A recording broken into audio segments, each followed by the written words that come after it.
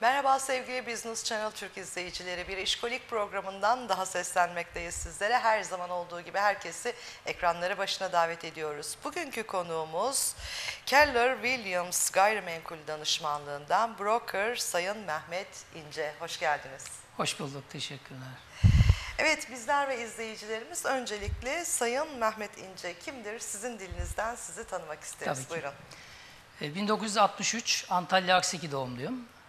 Evliyim, bir kız, e, iki erkek çocuğum var. Maşallah Allah bağışlasın. Teşekkürler, sağ olun. E, İlkokulu köyde tamamladıktan sonra orta ve liseyi Antalya'da e, tamamladım.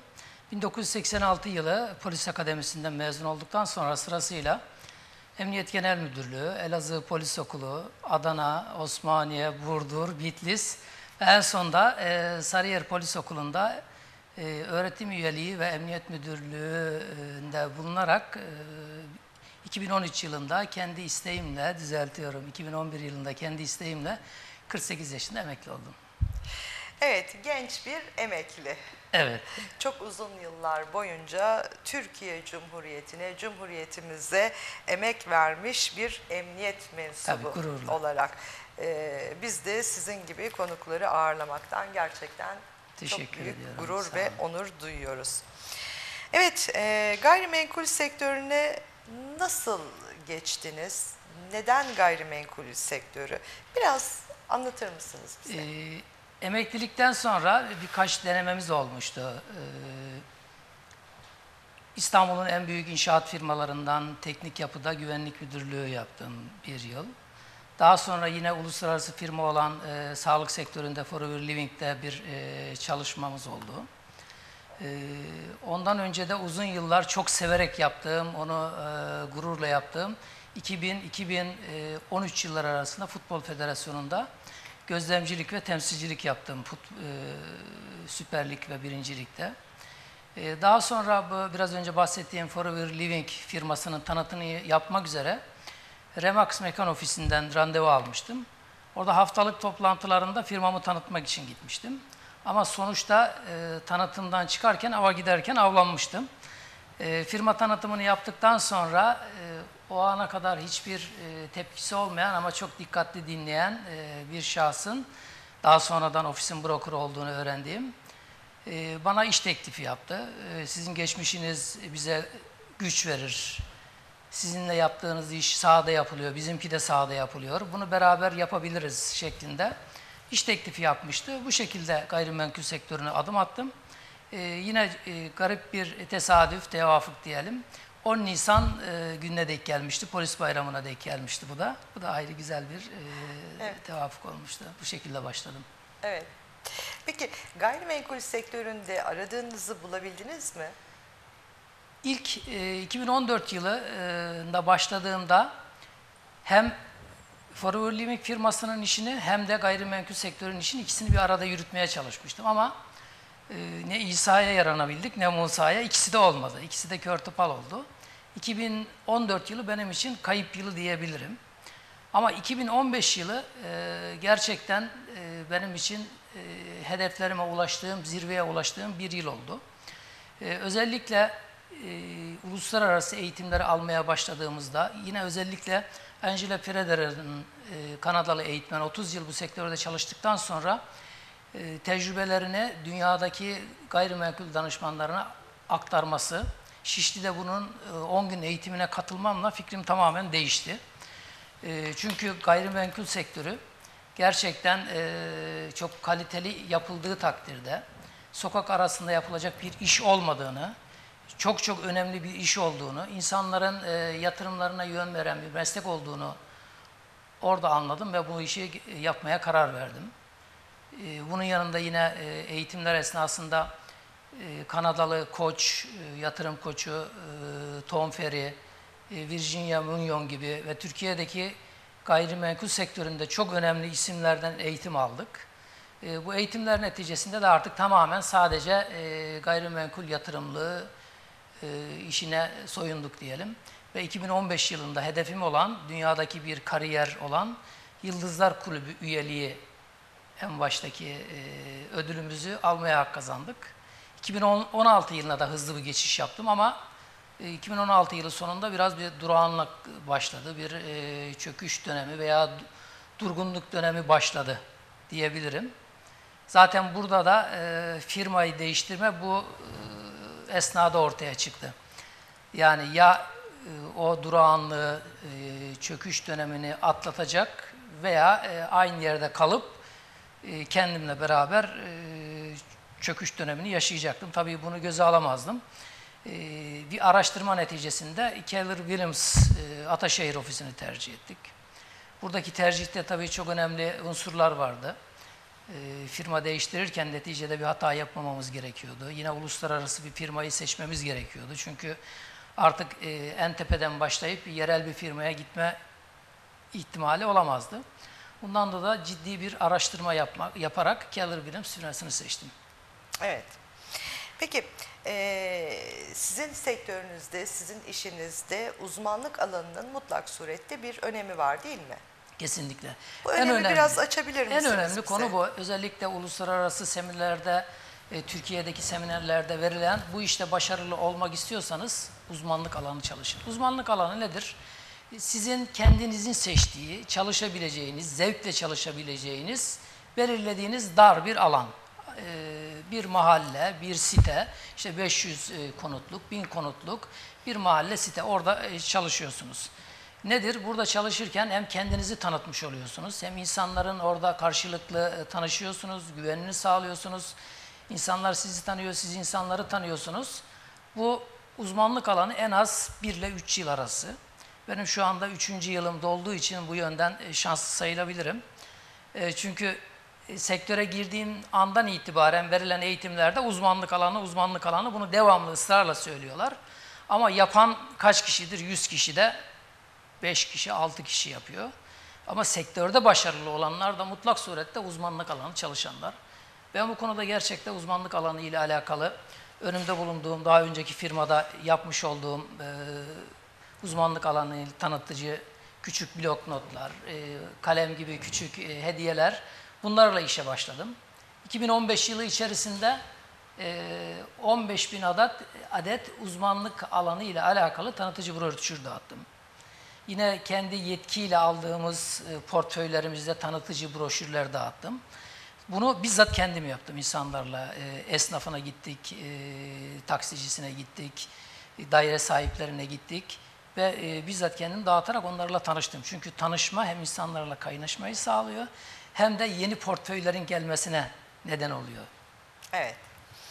Peki eee, şu an itibariyle çalıştığınız uzmanlık bölgesi var mı ve ne gibi faaliyetler vermektesiniz? Ee, Başta da ifade ettiğim gibi ben 2014 yılından itibaren e, Üsküdar Merkez Salacak bölgesinde uzmanlık alanı seçtim ve hala aynı yerde çalışmaya devam Aynı ediyorum. yerde devam ediyorsunuz. Firmayı değiştirdim ama bölgeyi değiştirmedim. Bölge Çünkü Salacak'ı seviyorum. Orada çalışmaktan keyif alıyorum.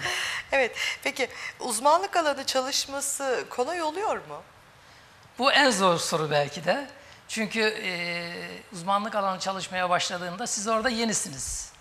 Oradaki insanlar belki orada hayatını vermiş. E, sokak arası emlakçı dediğiniz küçümseme manasında demiyorum. Küçük çapta 5-10 metrekarelik alanda e, bu işi yapanlar hayatını vermiş. Zaten ciddi yapanlar da gerçekten başarılı olmuş, bir tıkı üste çıkmış. E, bunların arasında siz yeni girmişsiniz, çalışmak çok çok zor. Hatta ilk girdiğimde e, şu şekilde bir anım olmuştu. Ee, uzmanlık alanı çalışırken gününüzün üçte ikisini orada geçirmenizi tavsiye ediliyor. Çünkü oranın her şeyi olmalısınız. Muhtarı olmalısınız, diş hekimi olmalısınız, esnafı olmalısınız. Ki herkes sizi tanısın, size, size güvenebilsin. Ee, bu şekilde ben çok ciddi bir çalışma yapınca oradaki e, yerel emlakçılardan bazıları şöyle bir e, şakayla karışık latife yapmışlardı. Ee, Mehmet Bey firmasından e, atmışlar, burada e, aylak aylak geziyor gibi bir e, konuşma başlamıştı.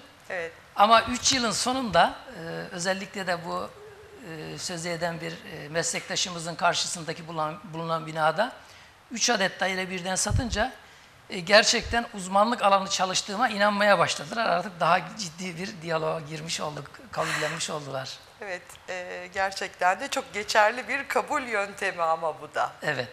Ama orada pes etmiş olsaydık e, işimiz bitmişti.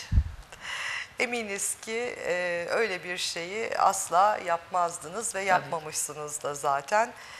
Peki yetki aldığınızı söylediniz. Yetki e, bizim mesleğimizin e, ciddi çalışan firmalar için en önemli konusu. Evet bunu biraz açabilir Evet, misiniz bu e, bize? yetki nedir? Hem e, belirli bir süreliğine e, müşterimizin size satılık veya kiralık mülkünü e, yazılı bir şekilde size yetki vermesi. Yani pazarlama veya kiralama yetki vermesi. Bu nedir? Hem müşterimizin hakkını koruyoruz hem kendimizin hakkını koruyoruz.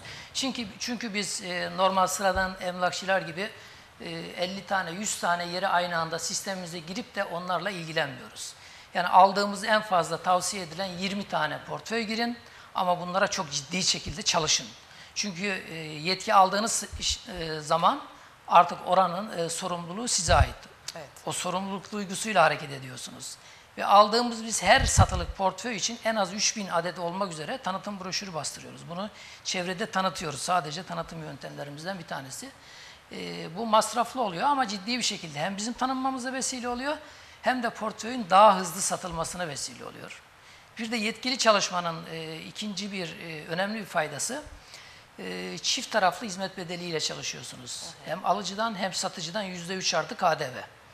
Nedir? E, müşteri karşı başka herhangi bir firmadan geldi. Onlar alıcıyı temsil ediyor. Biz zaten satıcıdan yüzde üç aldığımız için yüzde üçümüzü alıyoruz. E, bu şekilde satış hızlanıyor ve de sürümden kazanıyorsunuz. Bu çok önemli bir konu.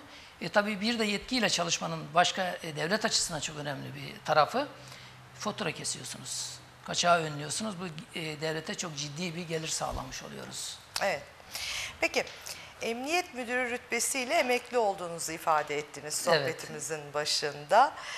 Bunun size e, yeni mesleğinizde, yeni alanınızda artısı ya da eksileri oldu mu? Olduysa nelerdi?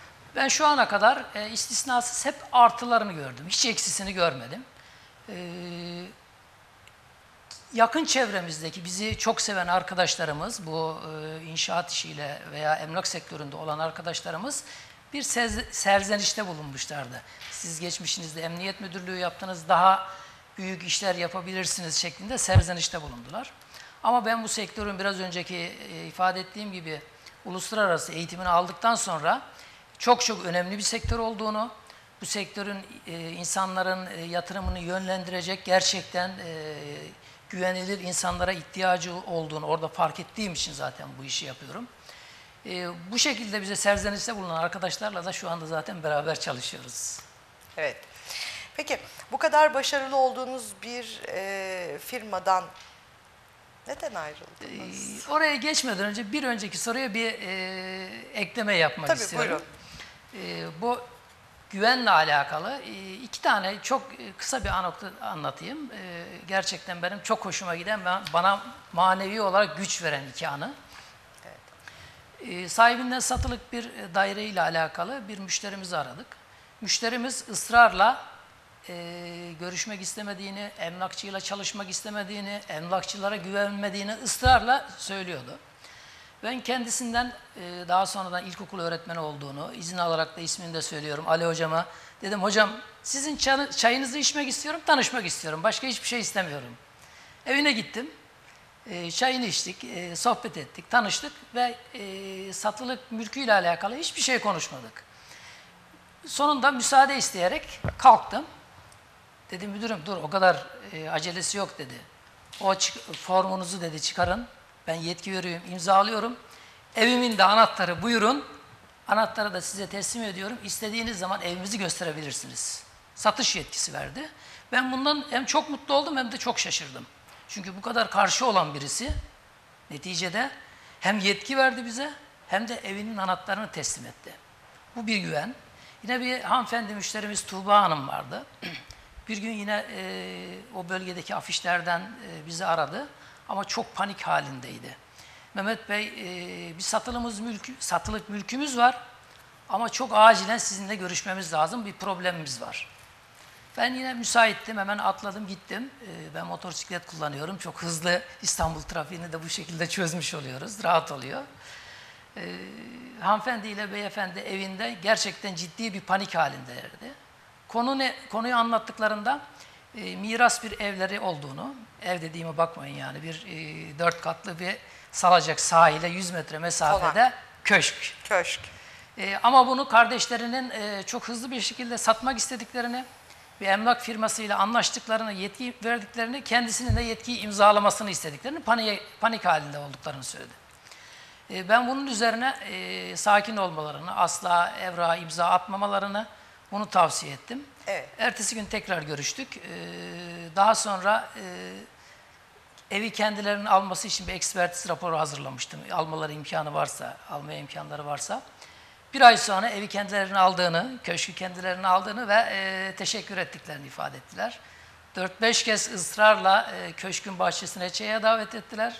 Ve en sonunda da geçen hafta eşimle beraber bir çay keyfi orada yaptık. Şu anda o müşterimiz her yerde bize anlatıyor. Müşteri memnuniyeti. En büyük referans Evet, en büyük zaten. referans zaten e, bizim amacımız bu. Kesinlikle öyle. Peki bu kadar yoğun iş temposunun arasında kendinize vakit ayırma imkanınız oluyor mu? Evet, e, kesinlikle oluyor. Eğitimlerde, uluslararası eğitimlerde gördüğümüz mutlaka disiplinli çalışın, günlük, haftalık, aylık ve yıllık planınız olsun, yazılı plan olsun. Bunun ben dördünü de mutlak suretle uyguluyorum. Günlük planım sabah 7, 23 arası planım var. Özellikle sabah 7 ve akşam 21-23 arası kitap okuyorum. Mutlaka kültürel e, kitaplar okuyorum, meslekle alakalı kitapları okuyorum.